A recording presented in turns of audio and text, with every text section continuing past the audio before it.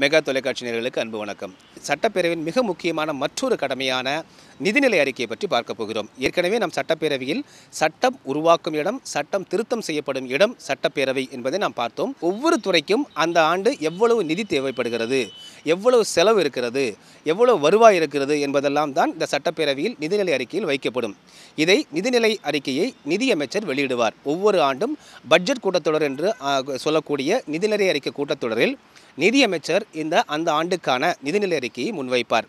அதாவது வந்து ஒவ்வொரு துறைக்கும் புதிய திட்டம் என்ன செயல்படுத்தப்படுகிறது. உதாரணமாக காவல்துறையில் என்ன விதமான புதிய திட்டம் இந்த ஆண்டு செயல்படுத்தப்படுகிறது.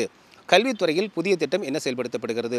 கடந்த ஆண்டு அறிவித்த திட்டம் எந்த அளவுக்கு செயல்படுத்தப்பட்டிருக்கிறது என்பதெல்லாம் அந்த நிதிநிலை அறிக்கையில் வைக்கப்படும்.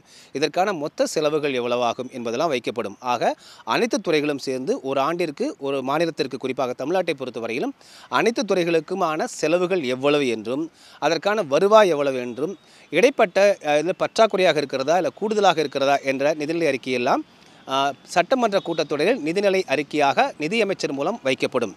இதன் பிறகு உடனே இந்த நிதிநிலைக்கு ஒப்புதல் அளிக்கப்படும் என்றால் அளிக்கப்படாது.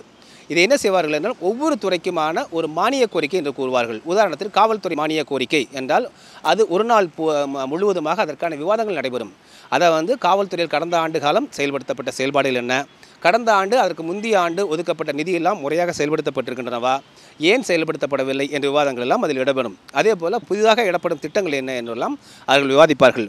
அந்த அடிப்படையில் ஒவ்வொரு துறைக்கான மானிய கோரிக்கைகளும் கிட்டத்தட்ட நாற்பது முதல் நாற்பத்தி ஐந்து நாட்களுக்கு இந்த பட்ஜெட் கூட்டத்தொடர் நிதிநிலை அறிக்கை கூட்டத்தொடர் நடைபெறும். அவ்வாறு உறுப்பினர்கள் பல்வேறு உறுப்பினர்கள் விவாதம் செய்து அதன் இறுதியாக அந்த அவைத்தலைவர் என்று சொல்லக்கூடிய சபாநாயகர் அந்த மானிய கோரிக்கை மீதான வாக்கெடுப்பிற்கு அவர் வந்து அழைப்பு விடுப்பார். அப்பொழுது பெரும்பான்மையான உறுப்பினர்கள் அதற்கு வாக்கெடுப்பிற்கு ஆதரவு தெரிவித்து விட்டால் அந்த மானிய கோரிக்கை நிறைவேறிவிட்டதாக பொருள். அதாவது வந்து அந்த குறிப்பிட்ட துறைக்கு அந்த ஆண்டுக்கான நிதி அவர்கள் கேட்டதைப் போலவே ஒதுக்கப்பட்டு விட்டது என்று பொருள். இப்படி ஒவ்வொரு துறைக்கும் அதற்கான வரவு எவ்வளவு செலவு என்பதெல்லாம் சட்டப்பேரவையில் அனைத்து உறுப்பினர்கள் மத்தியில் வைக்கப்பட்டு விவாதங்களுக்கு உட்படுத்தப்பட்டு இறுதியிலேயே அதற்கான நிதி ஒப்புதல் அளிக்கப்படுகிறது. இதுதான் நிதிநிலை அறிக்கையினுடைய மிக முக்கியமான ஒரு பணி.